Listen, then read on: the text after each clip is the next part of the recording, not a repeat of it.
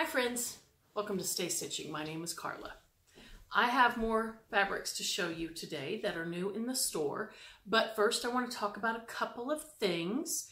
Forgive my hair. I have a deep conditioner in right now. I'm just keeping it real, people. My hair has been a disaster. If you saw my video before this one, um, it's just been really hideous lately, and today is the day that I let it soak in a deep conditioner.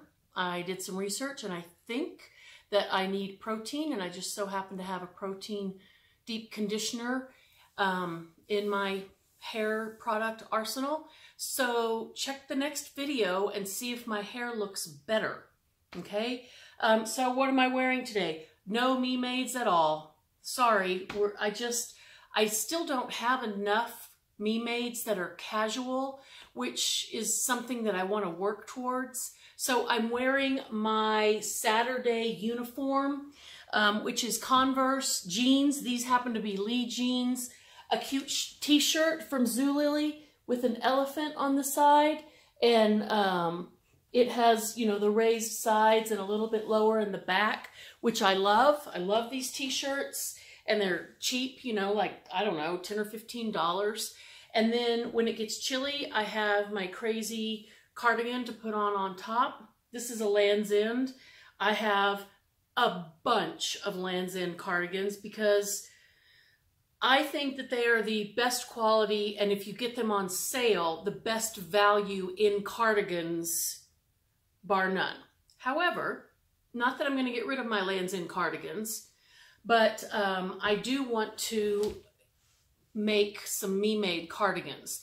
And so that will be something that I work on this winter because I do wear cardigans in the fall and winter every single day, essentially, um, whether it's at work or running around town, um, going to the grocery store or whatever. So I guess my hair is the um, equivalent of going to the store in curlers like women used to do in the 60s. And um, I'm maybe a little bit embarrassed to admit that I don't care. So I'm hoping that when I wash this out, that my um, good hair will come back because I like my hair. I don't, I, I don't, I mean, I like it. So, um, but I don't like it right now because it has looked ugly lately. All right, so what am I going to tell you about today? More winter fabrics. All of these are from Kaufman. They're all brand new.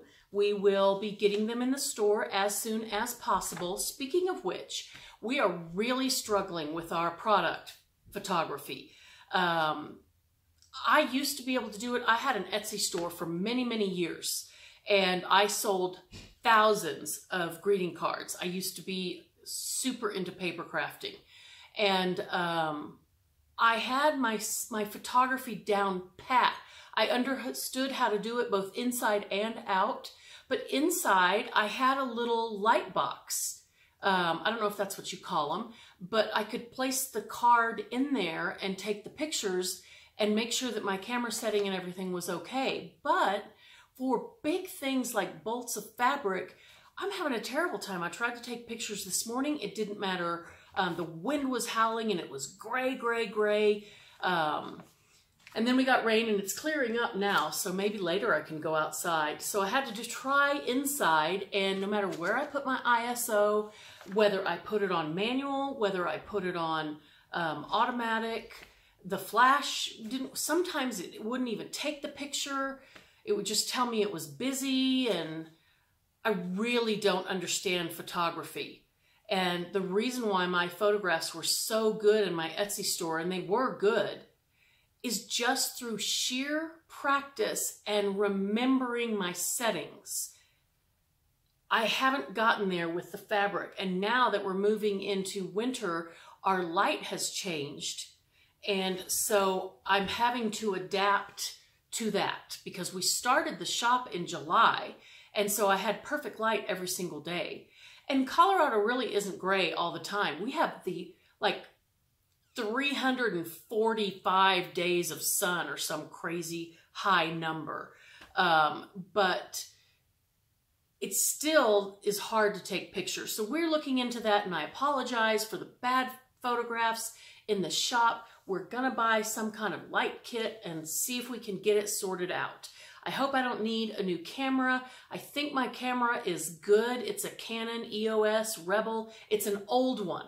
It's like 10 years old, but I still think that it's good enough to take great pictures. I just am not good enough to get the best out of that camera.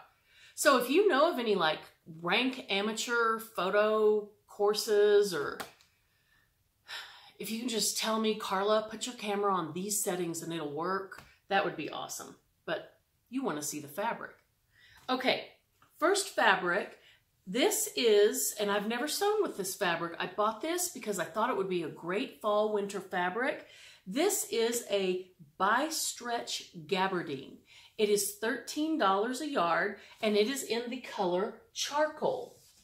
So let's see. I haven't even unfolded it off the bolt yet. This one hasn't been photographed. Okay, so this is a gorgeous, lightweight, oh, I'm gonna need that. Not that piece. Not that piece. I'll need that piece. And that piece. Okay, this is a gorgeous, lightweight suiting in a beautiful, rich, um, it's a smooth suiting, but it is heathered. And um,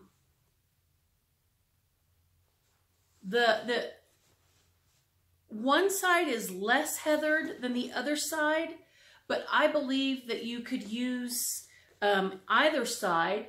It is not see-through at all, barely, and I'm in front of huge French doors. So even if I point it right at the window, it is barely see-through. So you could feel confident making anything out of this fabric, including close-fitting dress pants. Um, you would not have any fears of anything showing. And so I'm, I'm kind of thrilled with this fabric. I think this is going to be a great basic for the winter wardrobe. I would make any kind of dress pants I would make pencil skirts out of this. I think the drape is good enough so that you could make um, half circle skirts, circle skirts, you know, to wear with tall boots. Um, and you could make uh, blazers. Let's check this stretch out. Winter fabrics are heavy, you guys. The stretch is very small, okay? It's there, but this is not a super stretchy fabric by any means. Okay, so it does have give. When you sit down, it's going to give a little bit and um, maybe not cut you off at the waist like a fabric without any stretch. I mean, Kaufman is calling it a bi-stretch gabardine. So it has that gabardine weave, which is um, a twill weave. And this is, um, so that's a diagonal weave, just like denim. And um, this is a very nice quality basic um, and in a perfectly basic color. I love this color of gray with black and I love it with navy. Um, so this, I love it with olive. This is a, that's a good one.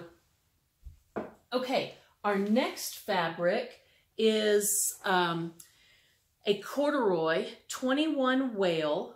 Oh, I didn't tell you what that was made of. Sorry. You guys are used to it by now, right? My lack of organization, my complete lack of organization. Um, bi-stretch gabardine in charcoal, 58% poly, 36% rayon. You guys know my love of rayon. Um, I think it makes all fabrics more comfortable to wear, period. It has other beautiful qualities um, in, in terms of adding drape and other things, but if you see this big of a percentage, 36% of rayon in a fabric, you can rely on it as being a comfortable fabric to wear. So 58 poly, 36 rayon, and 6% spandex. That's a lot of spandex. It doesn't feel that stretchy, but that's what's in there. Oh, and the Care Machine Wash Cold Delicate Cycle Wash. Wash dark colors separately. Do not bleach. Tumble dry low. Remove promptly. Cool iron if needed. It is 57 inches wide and it is a two-way stretch gabardine. Now, corduroy. This corduroy, both of the corduroys I'm going to show you today are $12 a yard and I'm so excited about the colors that we got. Okay, so this first one is rust. There are so many incredible patterns out right now that would be ideal for this fabric. This is 100% cotton, 21 wale corduroy in rust, machine wash cold, delicate cycle, no bleach, wash dark colors separately, tumble dry low, remove promptly. This is 57 inches wide. It's gorgeous.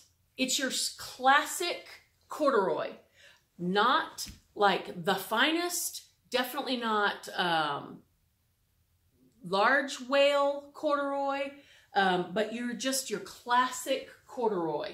It has a beautiful kind of velvety sheen and a nice drape. It would be good for virtually anything you wanted to make for the fall or winter. That includes pants, um, I think there's enough drape in here to make culottes.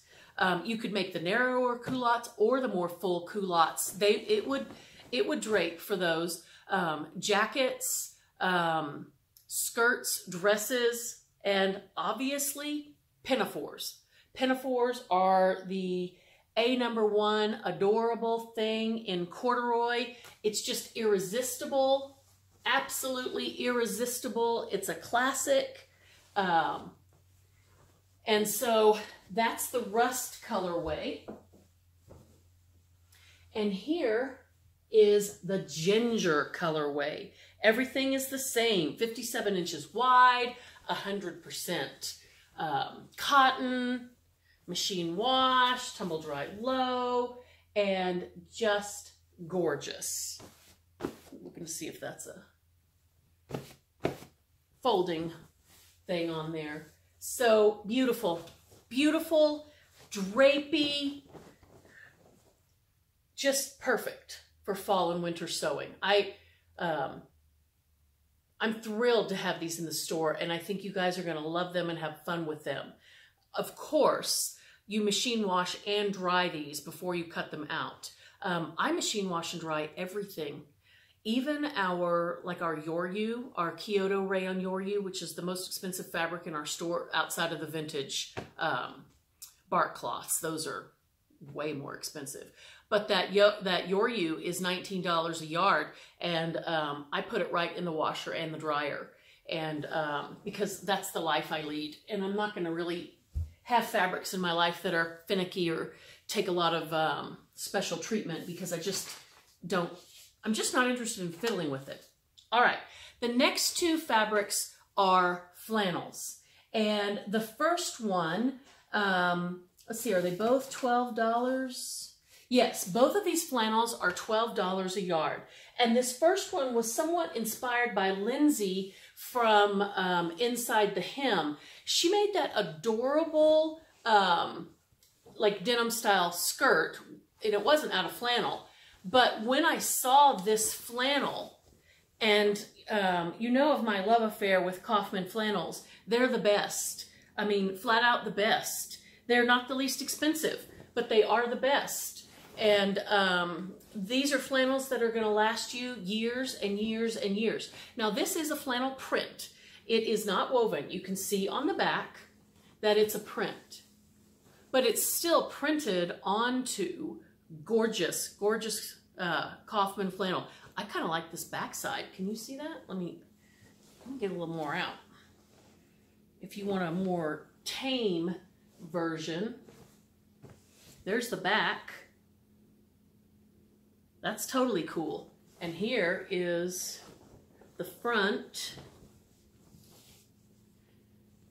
This flannel has gray a mustardy green and a milky, um, like a milk chocolate brown and a dark, you know, that gray is kind of, it's a green gray And then there's also like a dark charcoal gray in there. And um, I love it. I love it for flannel pajama pants. I love it for um, a tamarack jacket. I love it for um, a shirt, like a flannel shirt. I think you could make a really cute pinafore out of this. Um, a jumper, we call them jumpers. Um, we call jumpers the ones that don't have like straps. It's like more of a tank dress. That's a jumper in the United States. And then we call pinafores things that have straps usually and buttons or buckles. Um, and then, so this is 100% cotton. It's made in Japan. Machine wash cold, no bleach. Wash dark colors separately. Tumble dry low, remove promptly, 41 inches wide. And this is flannel, so this is narrow. Okay, 41 inches wide. 100% Japanese cotton. And I think we all know how we feel about Japanese cotton.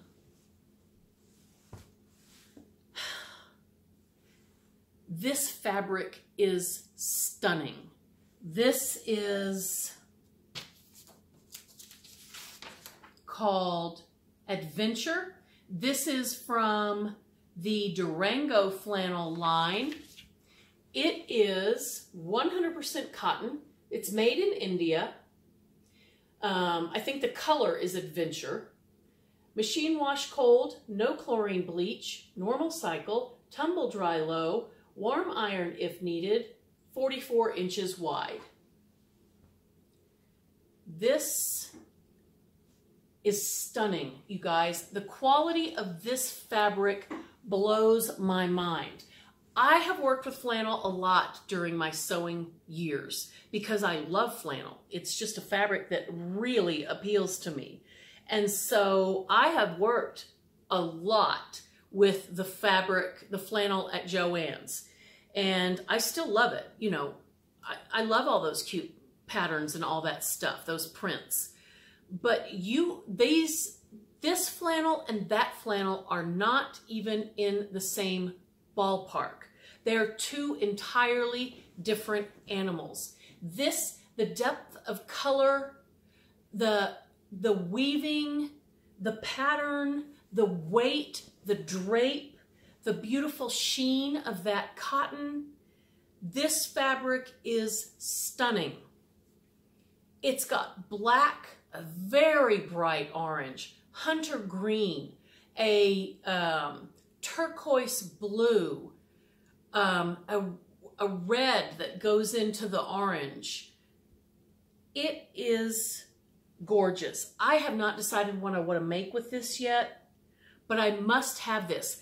I love this fabric so much, it would almost be more fun for me to gather up the nerve to finally make Troy a shirt. Um, and so I could actually look at it instead of, because you don't really get to look at your clothes while you're wearing them. The weight of this is pretty dang heavy, you guys. Um, this would have to be a removable layer if you do not live in a cold climate.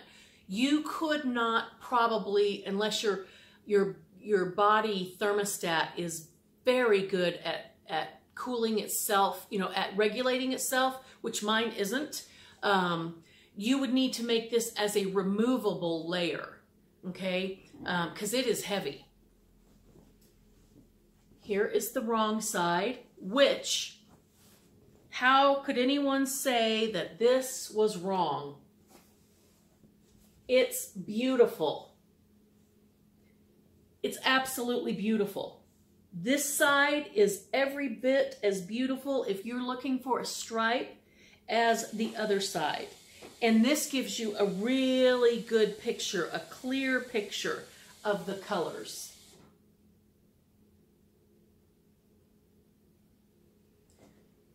this fabric, if, if I was doing a show, a fabric show, this would be best of show. I mean, stunning. Look at that. It's just stunning. I hope you guys love it as much as I do. And I hope that you enjoyed the fabrics that I had to show you today.